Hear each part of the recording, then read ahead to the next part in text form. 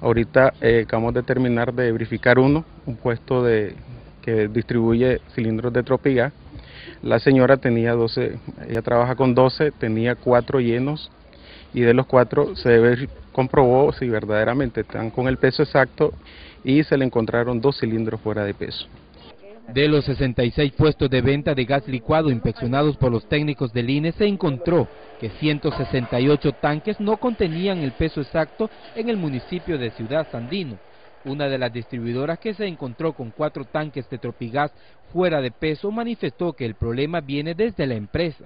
Yo entiendo que es la empresa porque los que andan distribuyendo la que van a hacer más los del camión. Ellos solo traen el producto y hay una empresa que solo llenan nada tienen que ver ni, ni los del camión ni yo.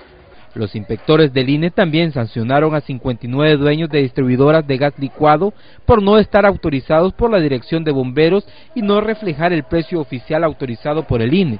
El 89% de los puestos de gas licuado de Ciudad Sandino que han sido inspeccionados por los técnicos del INE fueron multados y amonestados. Las principales causas de las amonestaciones y multas están vinculadas con la seguridad local, como no poseer extintor de 9.09 kilogramos, no poseer plano de vista en planta ante cualquier eventualidad, no poseer el rótulo de no fumar, no tener eh, certificado de capacitación ni la autorización de, los bomberos para manejo de GLP. Vocera del Instituto Nicaragüense de Energía manifestó que el ente regulador realiza constantes inspecciones en las empresas envasadoras y muestra de ello es la multa de un millón de córdobas que le hicieron a la empresa Tropigas por vender los tanques con menor peso, pero dicha empresa se amparó ante la Corte Suprema de Justicia.